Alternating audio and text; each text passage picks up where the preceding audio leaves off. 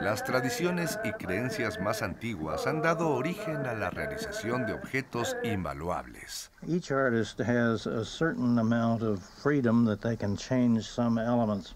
It should always have an element that looks like a cloud. Mitos Hechos Arte presenta Muñeca Hopi. Domingo, 20 horas.